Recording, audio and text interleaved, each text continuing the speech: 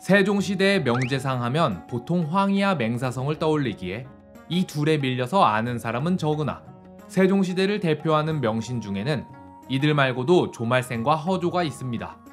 둘 중 조말생의 스토리가 더 재미있으니 조말생에 대해 먼저 알아보자면 조말생은 태종이 즉위한 첫 해인 태종 1년 문과의 장원 급제에 관직 생활을 시작합니다. 그는 장원으로 급제한 데다 능력도 출중했는지 태종의 특별한 총애를 힘입어 승진가도를 달리는데요. 처음에는 왕실 창고에 저장하는 곡식을 관리하는 관직으로 시작해 언론기관인 사헌부, 사관원의 관직을 거쳐 문관의 인사를 담당하는 2조의 관직을 지냈습니다. 그러다 태종 7년에는 10년에 한 번씩 정삼품 이하 문관들을 상대로 보는 과거 시험인 문과 중시에서 2등을 하기도 했으며 그 뒤로도 곡식을 관리하는 관직, 언론기관인 사헌부의 관직을 다시 거쳐서 마침내 왕의 비서실장인 지신사가 되어 명실상부 태종이 가장 총애하던 신하 중 한 명이 되었습니다. 그렇게 조말생을 아끼던 태종은 태종 18년 그를 이조 참판으로 승진시키고 곧 형조 판서를 거쳐 병조 판서에 임명함으로써 그에게 병권을 쥐어주게 되죠. 이후 세종이 왕위에 오르고 태종이 상황으로 물러난 뒤에도 조말생은 계속 병조 판서로 있으면서 태종의 대마도 정벌도 지원하고 조선의 외교와 국방에 관련된 여러 일을 도맡아 했습니다. 자, 여기까지만 보자면 조말생은 장원급제 출신인데다 문과 중시에서도 2등을 할 정도로 학문이 뛰어나고 사헌부, 사관원, 지신사, 이조참판, 형조판서, 병조판서 등 주요 관직을 두루 거칠 정도로 능력까지 출중했으며 거기다 태종의 특별한 총애까지 받았으니 누가 봐도 이대로 승진을 거듭해 정승에 오르고 마침내 영의정이 되어도 이상할 거 하나 없는 인물이었죠. 그런데 이렇게 승승장구하던 조말생의 커리어에 엄청난 흠집이 나면서 이후 조말생은 더 이상 승진도 못하고 육조 등 주요 관직에 임명되지도 못했는데요. 자, 그럼 조선 왕조를 통틀어서도 역대급 비리 사건으로 불리는 김도련 사건에 대해 한번 알아봅시다.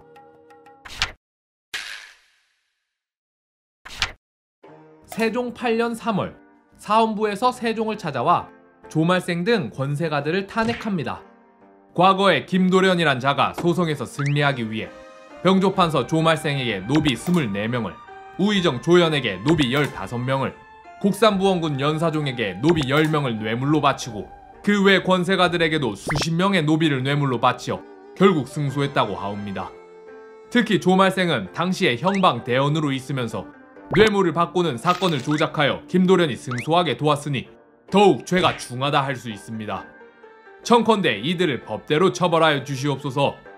그러자 세종은 사건을 조사하기 위해 감찰사를 파견하는데요.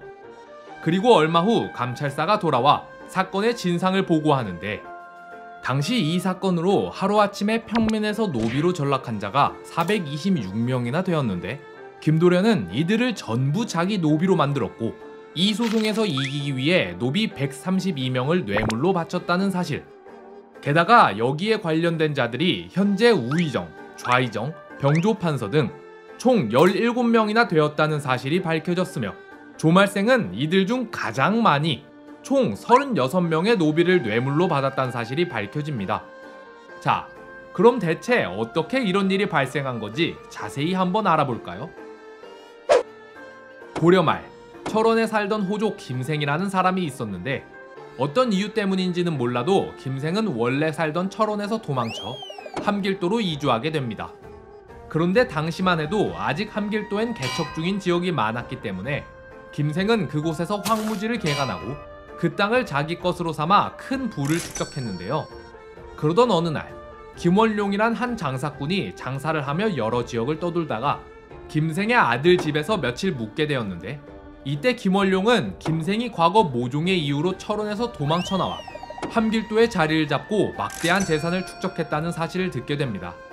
그런데 김생의 얼굴을 자세히 보던 김원룡은 김생의 얼굴이 옛날에 자기 집에서 도망친 노비 허송과 닮았다는 사실을 발견하고는 김생과 그의 가족을 전부 자기 노비로 만들고 그의 재산까지도 전부 탈취하기 위한 악랄한 계획을 세웁니다. 하지만 미천한 장사꾼인 김원룡이 혼자 이 일을 할 수는 없으니 그는 당대 최고의 권세가 중 하나였던 임견미를 찾아가는데요. 임견미는 고려 말에 활동했던 권세가 중 한 명으로 결국 이성계와 최영에 의해 죽임을 당했죠. 자세한 내용은 0-6 최영과 우왕편을 참고해주세요. 무튼 임견미의 도움으로 김원룡은 김생과 그의 가족을 자기 노비로 만드는데 성공했으나 임견미가 실각하면서 김생과 그의 가족은 다시 양인으로 신분이 회복됩니다. 그런데 태종 14년 태종은 노비의 주인이 애매한 경우 이를 바로잡고 노비의 신분이 잘못된 경우에도 이를 바로잡기 위해 노비 변정도감을 설치하는데요. 그러자 호시탐탐 기회를 엿보고 있던 김원룡의 아들 김도련은 이때다 싶어 다시 한번 노비 변정소에 소송을 제기합니다. 그리고 이때 김도련은 이 소송에서 승리하기 위해 조말생 등 수많은 관료들에게 노비를 뇌물로 바친 거죠. 그런데 실록에 따르면 김도련은 지방에 미천한 인물이며 라고 나와 있는 걸로 보아 김도련은 별다른 능력도 재산도 없는 인물이었는데 김도련이 어떻게 17명이나 되는 관료들에게 132명이나 되는 노비를 바친 걸까요? 미천한 김도련과 달리 김생의 가문은 그 뒤로도 번성하여 이때 그 가문의 인원이 총 426명이나 되었다고 합니다.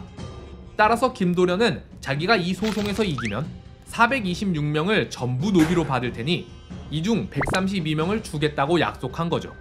그리고 결국 조말생을 포함한 부패 관료들의 뒷공작으로 김도련은 소송에서 승리하고 이들에게 100명이 넘는 노비를 제공하고도 300명 가까이 되는 노비를 얻게 됩니다.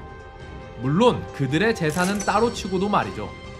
그런데 당시 조말생은 형방대원이라는 직책을 맡고 있었는데 형방대원이란 왕명을 형조에 전달하고 형조의 보고를 왕에게 전달하는 일을 하는 자리입니다.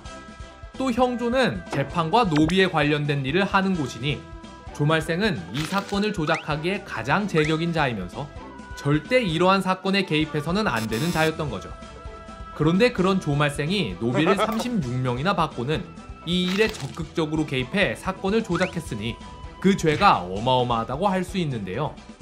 따라서 김도련 사건이 터지자 대관들은 김도련에게 뇌물을 받아먹은 관료들 중에서도 유독 조말생을 주요 타겟으로 삼아 집중적으로 탄핵합니다.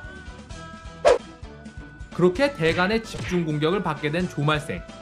그러자 과거 조말생이 저지른 다른 범죄들도 죄가 터져나오기 시작하는데 조말생은 여태 수많은 사람에게 은이나 비단 등 뇌물을 받은 대가로 그들의 관직을 올려주고 소송에서 이기게 해주고 군대도 안 가게 해주고 등등 수많은 비리 사건에 연루되었다는 사실이 밝혀집니다. 그러자 사원부의 수장인 대사원이 세종을 찾아와 다시 한번 조말생을 탄핵하는데요. 조말생이 여태 뇌물로 받은 노비나 작물 중 그 기록이 상세하지 않은 것들을 제외하고 분명한 것만 하더라도 780관에 다다릅니다. 법에 따르면 뇌물 80관 이상을 받은 자는 교형에 처한다라고 되어 있는데 조말생은 이에 10배 가까이 되는 작물을 받았으므로 죽여도 부족할 지경입니다. 조말생은 태종의 지나친 총애를 힘입어 이토록 권세를 부리고 뇌물로 재산을 축적했으니 정컨대 말생을 법으로 다스려 이 같은 일이 재발하는 걸 방지하소서. 하지만 세종은 조말생은 태종께서도 종애하셨으며 나 또한 지극히 종애하는 신하이다. 법률에 따르면 목을 베는 것이 마땅하지만 대신이 뇌물을 받았다 해서 죽이는 일은 과거에도 없었으니 조말생을 충청도 회인으로 유배 보내도록 하라.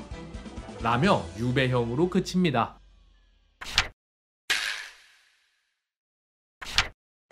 게다가 세종은 고작 2년 만에 조말생의 유배를 풀어주는데요.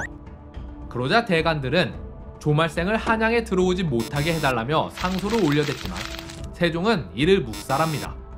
그리고 다시 2년이 지나자 세종은 조말생에게 직첩을 돌려주는데요. 직첩이란 관직 임명장입니다. 그러자 이번엔 아예 단체로 궁궐 앞에 엎드려서는 조말생이 돌아온다면 자기들은 전원 사직하겠다며 시위를 하는 대관들.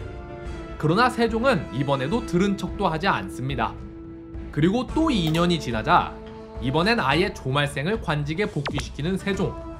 그렇게 관직에 돌아온 조말생은 얼마 후 함길도 관찰사로 임명돼 최윤덕과 함께 육진을 정착시키는 일을 맡습니다. 이후 조말생은 중추원에서 군사와 관련된 행정 업무를 맡았으며 전라, 경상, 충청도에 성을 쌓는 일에도 투입되었는데요. 따라서 혹자들은 이렇게 조말생이 맡은 일들을 보며 세종이 조말생을 내치지 않은 이유는 그가 군사 관련 업무에서 뛰어난 재능을 보였기 때문이라고 말하기도 합니다. 비리 혐의로 인해 조말생을 내치는 것보다는 그를 부려먹음으로써 나라에 도움이 되는 일을 시키는 게 더 낫다고 판단했다는 거죠. 또한 조말생은 뇌물을 먹고 비리를 저지르는 한이 있어도 국왕에 대한 충성심만큼은 대단했기 때문에 오히려 왕 입장에선 부려먹기 딱 좋은 인재이기도 했고요. 그렇다고 세종이 조말생을 크게 신임하진 않았던 것 같은 게 조말생은 이 사건 이후론 육조의 주요 관직에 앉을 수 없었으며 정승이 되지도 못했습니다. 그의 커리어나 능력을 보면 좋게 정승이 되고도 남을 인재였으나 결국 김도령 사건이 발목을 잡았던 거죠. 어쨌든 이렇게 조말생이 관직에 돌아오긴 했지만 그를 향한 대간의 비난은 멈추지 않았습니다. 조말생의 아들 조근이 문과 1차 시험에 합격해서 합격자 등록을 하러 갔는데 예문관 관원들이 조말생의 범죄 때문에 좀 더 의논해야 한다며 이틀이나 합격을 늦췄는데요.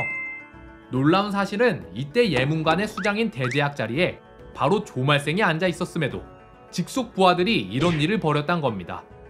그리고 얼마 뒤엔 조말생의 다른 아들인 조찬이 사원부 감찰로 임명됐는데 당시엔 고신서경이라 해서 관리의 인사이동이 있을 경우에 대간의 서명을 받아야 하는 제도가 있었습니다. 그런데 이번엔 이들이 조찬의 임명장에 서명하길 거절하며 무려 3년 동안이나 임명을 질질 끌었는데요. 그러나 이렇게 대간들이 아무리 조말생을 괴롭혀도 세종은 끝까지 조말생을 감쌌습니다. 세종은 앞서 황희 때처럼 사직쇼까지 벌여가며 조말생을 계속 기용했는데요. 조말생은 64세 때부터 77세 때까지 거의 매년 사직 상소를 올렸지만 세종은 계속 거절했습니다. 그리고 이 다음 해 78세가 된 조말생은 더 이상 버티기가 힘들었는지 아예 죽어버리고 마는데요. 죽을 때까지 일을 시킨 걸 보면 조말생이 어지간히 능력 있긴 했나 보죠. 자, 그럼 말도 많고 탈도 많았던 조말생 이야기는 이쯤에서 마치고 다음으론 세종 시절을 대표하는 또 한 명의 대신 허조에 대해 알아볼까요?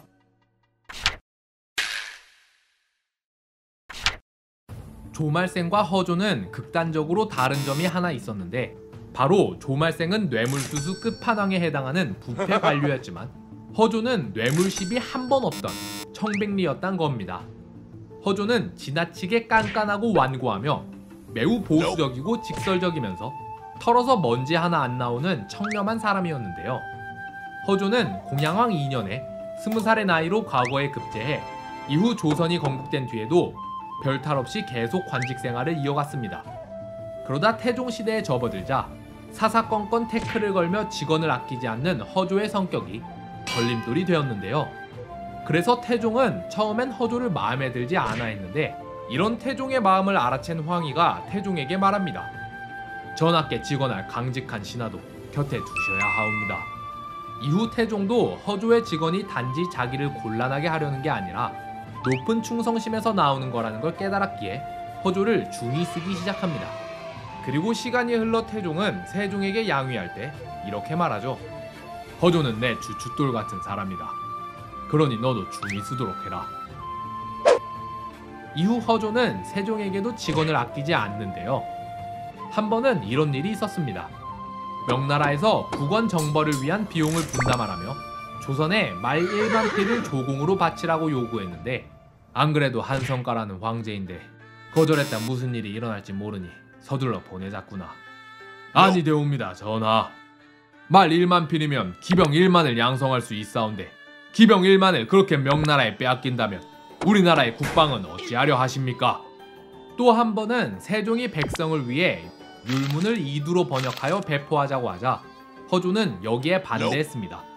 신은 패단이 일어날까 두렵습니다. 간악한 백성들이 율문을 알게 되면 죄를 두려워하는 것이 아니라 오히려 죄를 피하는 법을 익혀 더욱 교활하게 범죄를 저지르지는 않을까 심히 걱정되옵니다. 자기가 틀렸다고 생각한 건 목숨을 걸고라도 말하는 소신 있는 성격이었던 거죠. 또한 허조는 워낙 보수적이고 위아래를 엄격하게 구분하는 성격이었는데요. 그래서 종종 하급 관원들에게 자넨 인사도 안 하나? 자넨 복장이 그게 뭐야? 라며 깐깐하게 굴어서 하급 관원들로부터 미움을 많이 받았습니다. 하지만 허조의 이런 깐깐한 성격과 탈탈 털어서 먼지 하나 안 나올 정도로 청렴한 성격을 높이 산 세종은 그에게 이조판서, 예조판서직을 맡기는데요. 이조는 인사와 뇌물을 담당하고 예조는 외교, 교육, 문화, 제사 등과 함께 또 인사제도를 담당했으니 깐깐한 허조에게 딱 어울리는 직책이었죠. 이렇게 두 판서직을 거친 허조는 결국 좌의정에까지 올라 권력의 정점을 찍게 됩니다. 이후 말년에 병세가 악화되어 관직에서 물러난 허조는 죽기 직전에 이런 말을 남겼다고 하는데요. 태평한 시대에 태어나 나이 70이 되도록 살았다.